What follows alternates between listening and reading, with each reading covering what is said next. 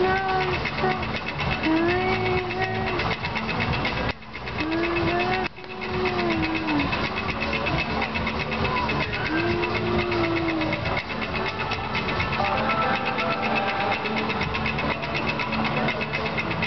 to a British. I thought they weren't plastic, right?